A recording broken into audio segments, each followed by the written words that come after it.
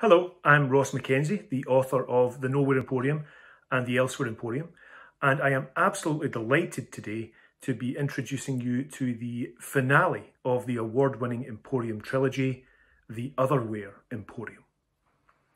Uh, before I give you a, a, quick sneak peek at the book, uh, I just want to say a really quick thank you to all the booksellers, librarians, teachers, uh, bloggers who have really got behind the Emporium books right from the start. Um, your support and your backing has meant so much to me. It's opened so many doors and it's made such a huge difference. And, you know, I guess the, the words thank you aren't big enough, but um, thank you all for, for everything you've done.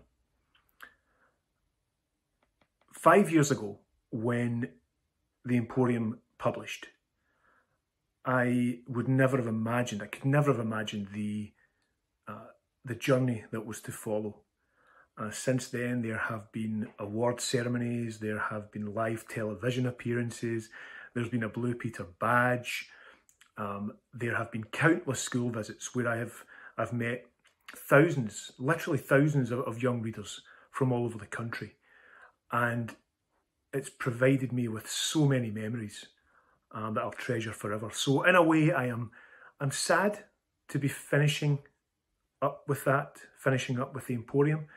Um, but I'm also excited at, uh, to excuse the pun, turning turning the page and and finding what comes next. And I'm also excited to be finishing the book, finishing Daniel's story, and finding out what your reaction and your feedback to that will be, because that's always a really sort of um, that's always one of the most nerve-wracking parts about being an author is to find out the reaction from your readers. So I'm excited about that. I'm excited to be, finishing the trilogy.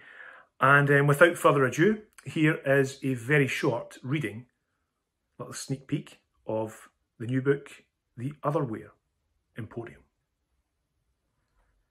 Daniel put down his pen and sat back in his chair, the fire spitting in the darkened shop, its flames reflecting in the many treasures so tightly packed into the place.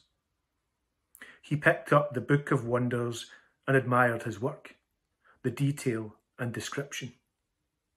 This, this would be one of his finest wonders yet.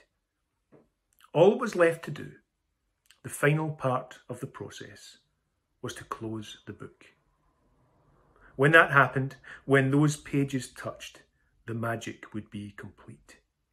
The wonder would appear somewhere in the great carnival of wonders behind the red curtain by Daniel's desk. Scanning the work one more time, he gave a nod of satisfaction and closed the book with a snap. He waited. He sat forward. He stared at the book through narrowed eyes. His heart began to pick up pace, and the feeling that something was wrong sat heavy and cold in his belly. Still clutching the Book of Wonders, he shot to his feet and wheeled away through the curtain. At last, after goodness knows how long, hurrying through the great tent city that comprised the Carnival of Wonders, between tents as tall as 10 story buildings and tents as small as phone boxes, all under an impossible twilight sky, Daniel came around a corner and skidded to a halt on the dry summer grass.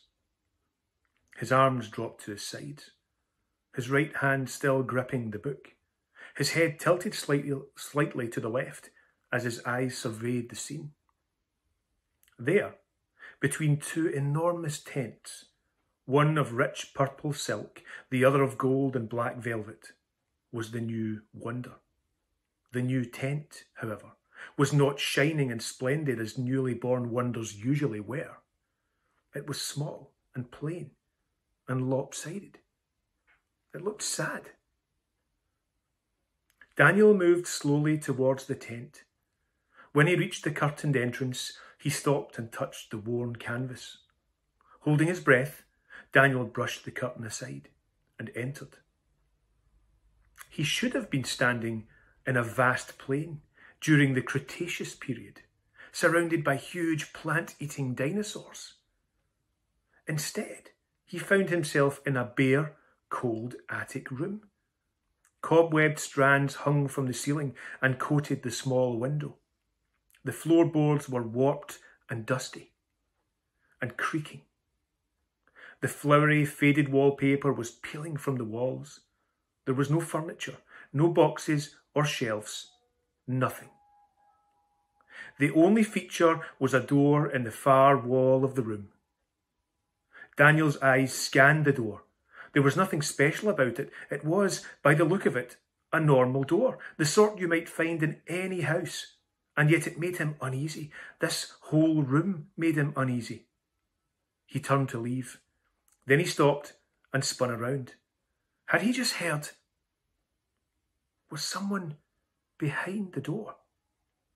Daniel stood still as death, listening, waiting. No sound came, no movement.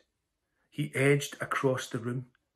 When he reached the door, he realised that he was clutching the Book of Wonders tight to, to his chest, the way a child hugs a security blanket or soft toy.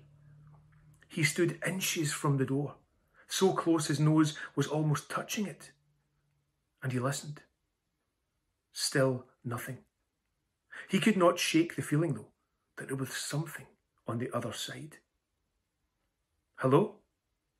Daniel's voice sounded strange to him, shaky and hesitant.